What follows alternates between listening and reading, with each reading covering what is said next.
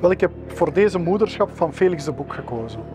Dit is uh, een moederschap en is eigenlijk uh, een moment waarop dat die pionier van de abstracte kunst terugkeert naar de figuratie.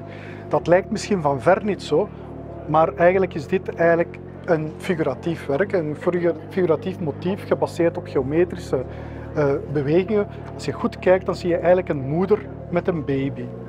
Dat is eigenlijk het moment waarop dat de boek van de historische avant-garde naar een meer intimistisch werk gaat komen.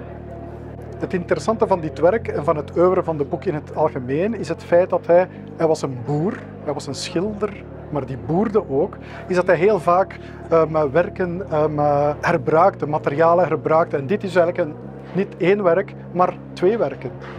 En zo zie je dat er op de achterkant een werk met een abstract motief. Het motief zelf komt van de jaren 20.